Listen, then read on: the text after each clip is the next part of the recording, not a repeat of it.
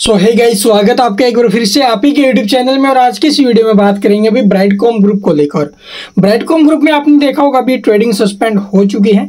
आपके जो शेयर वो गायब हो चुके हैं। उसके ऊपर बहुत से निवेशकों के सवाल आ रहे थे। तो उन सभी सवालों के मैंने जवाब आपको दिए थे भी। अभी के टाइम आप लोग कंपनी की तरफ़ से भी एक बड़ी अपडेट आते हुए नज़र आई है। इस अपडेट के ऊपर चर्चा करेंगे भी आखिरकार क्या अपडेट आई है। और इसका जो इम्पैक्ट है वो हमें कैसा देखने को मिलेगा ब्राइटकॉम के ऊपर, या फिर आप लोग देखोगे भी जो डेट आई है वो बहुत ज़्यादा इंपॉर्टेंट है अभी ब्राइटकॉम के शेयर होल्डर्स के लिए भी। या फिर आप लोग देखोगे अगर आपने खरीदारी की है करंट टाइम में तो। आपने देखा होगा अभी लगभग साढ़े लाख के आसपास जो इन्वेस्टर है, वो यहाँ पर फंसे हुए हैं। तो चलिए अभी ज़्यादा देरी न करते हुए सीधे मुद्दे पर आते हैं। तो जो शेयर सस्पेंड हुए हैं, आपके होल्डिंग गायब है, उसके ऊपर मैंने डिटेल में आपको बता दिया, अभी पैनिक नहीं होना है। हर मंडे के दिन, अगर मंडे को छुट्टी होगी तो ट्यूसडे के दिन आपको जो है इसके अंदर वीक में एक दिन ट्रेडिंग देखने को मिलेगी।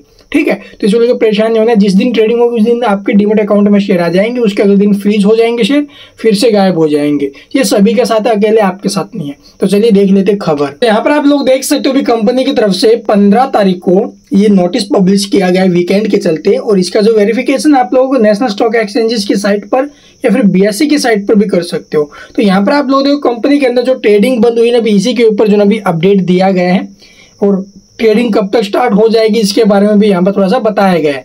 तो यहाँ पर आप लोग देख सकते हो कि कंपनी के जो मूल्यवान यानी कि वैल्यूएबल जो शेयर होल्डर्स है, उनके लिए ये अपडेट आई है। We are recognise we are we recognise the hardship and stress and the suspension of trading in Brightcom group limited शेष हैज़ कॉस्ट तो आप लोग देखोगे जो ये शेयर यहाँ ब्रेडकॉम के अंदर जो शेयर जितने भी है, वो व्यापार में जो निलंबन हुआ है, यानी कि जो ट्रेडिंग सस्पेंड होते हुए नज़र आई है, इसके कारण उत्पन्न जितनी भी कठिनाई है स्ट्रेस को पहचानते हैं भैया।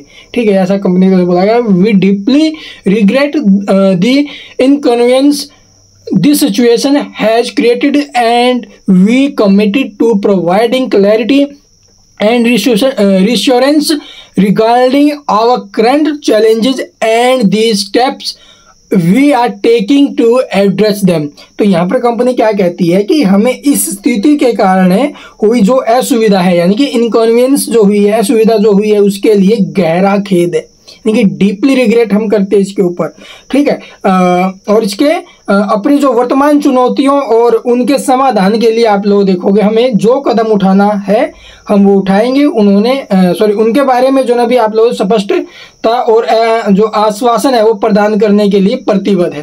तो ये कंपनी तरफ़ से बोला गया है। और रीजन क्या रहा है अभी सस्पेंड का कंपनी के अंदर जो शेयर सस्पेंड किए गए हैं उसके ऊपर तो आपको पता होगा अभी कंपनी क्वार्टर टू और क्वार्टर थ्री के नंबर डिक्लेयर नहीं हुए अभी।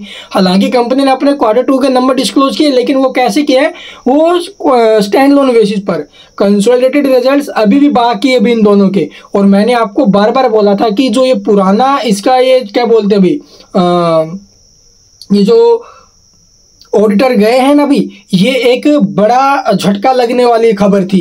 ठीक है, आपने होगा न्यू ऑडिटर आए हैं कंपनी के अंदर, और उसी के रिगार्डिंग मैंने आपको बोला था कि बहुत ज़्यादा मुश्किल है कि जो न्यू ऑडिटर आए हैं, वो एकदम से या फिर चार पाँच दिन के अंदर अंदर सारा ऑडिट करके जो रिज़ल्ट वो पेश कर देंगे। और यही कंपनी की तरफ़ से यहाँ पर आप लोग देखो, बताया गया अभी the suspension of trading was an unfortunate outcome of the unexpected जो रेजिग्नेशन है, वो आप लोगों दिया गया ऑडिटर्स की तरफ़ से। यहाँ पर ये इसके ऊपर जो है भी गहरा असर डाला है। ट्रेडिंग का जो निलंबन है, हमारे पिछले ऑडिटर के जो अप्रत्याशित इस्तीफे का एक दुर्भाग्यपूर्ण परिणाम था। यानी कि जो जो रेजिग्नेशन दिया गया है ना भी ये ऑडिटर्स की तरफ़ से, ये आप लोग देखोगे भी अनफॉर्चुनेट आउटकम्स के कारण हुआ है। ठीक है, इसके बाद आप लोग resignation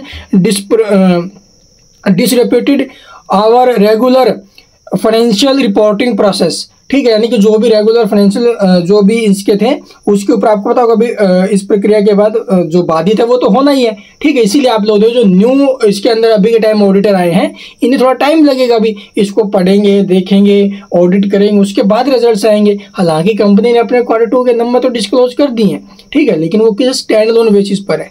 तो कंसोलिडेटेड बेसिस पर तो रिज़ल्ट अभी बाकी है तो इसके ऊपर जो ना अभी कंपनी ने एक डेट अनाउंस की है, वो डेट रखी गई भी इकतीस जुलाई।